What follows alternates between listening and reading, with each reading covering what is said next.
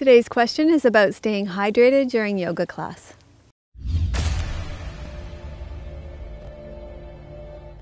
Hi, I'm Dr. Melissa West and welcome to Living Your Yoga. Today's question comes to us from Marcelys from Venezuela via email.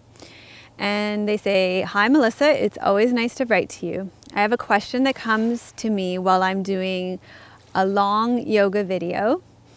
How should I hydrate while doing yoga?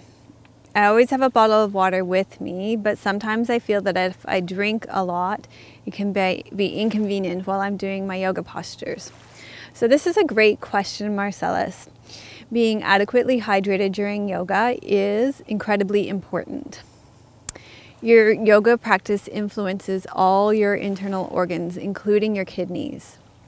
As I mentioned in Namaste Yoga 241, Desikachar is quoted as saying, Yoga is 99% waste removal.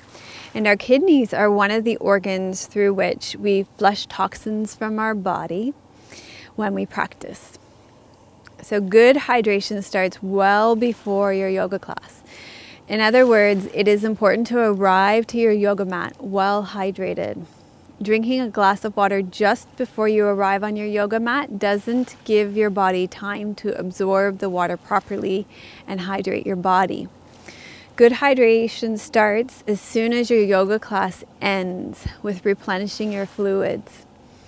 Good hydration starts the day before your yoga practice, and good hydration starts as soon as you wake up in the morning. So, one idea is to start your day with a glass of warm lemon or lime water. And I'm actually going to be doing a Thirsty Thursday on this very soon.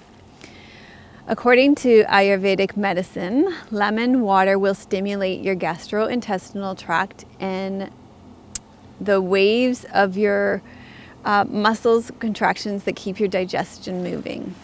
Also, the lemons are high in vitamins and minerals that will help move toxins from your digestive tract. Ayurvedic medicine offers several tips for successful hydration. Sip your water throughout the day rather than to chug your water all at once. When you chug it all at once, it will run right through you. Small sips allows your body to absorb and hydrate. You may notice that on Namaste Yoga, I usually take small sips throughout the class. Drink your water at room temperature or warm. Cold water usually will douse your digestive fires, which I realize is a completely different subject, but I know a lot of you don't want to unintentionally slow down your metabolism. And uh, this is another thing that you may also notice on Namaste Yoga that I have uh, warm herbal teas in my little thermos rather than um, water to sip on throughout my teaching. Also, pay attention to your urine and your lips. Your urine should be clear. If it's yellow, you need to sip more on water throughout the day. And if your lips are dry, keep sipping on water at room temperature. Remember to avoid beverages that dehydrate. Caffeine, caffeinated beverages such as black tea, green tea, coffee, and colas dehydrate your body. Alcohol is even more dehydrating. Part of being a yoga to you may mean practicing Saucha, which is the niyam of cleanliness. And so caffeine and alcohol are not only toxic to your liver, but can cause your liver to be overloaded and prevent your liver from being able to screen out toxins from nutritive fluid. Therefore, harmful impurities begin to circulate through your body tissues and organs and to the rest of your body. Even non caffeinated carbonated drinks will disrupt your digestion and are a major cause of toxins. So stay tuned to a Thirsty Thursday that I'm going to be filming where I will share with you um, some hydrating waters for your specific dosha, for your Vata, Pitta, and Kapha.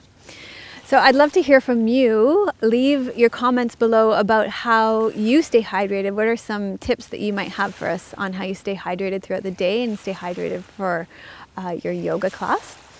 Leave that in the comments below. If you like this video, uh, give it a thumbs up, subscribe to our channel, and if you know somebody who would benefit from this video, then go ahead and send it to them. Thanks so much for watching, and I'll see you next time. Melissa would love to hear your questions and thoughts. Please leave your comments below the video. Thank you for your reviews on iTunes and YouTube.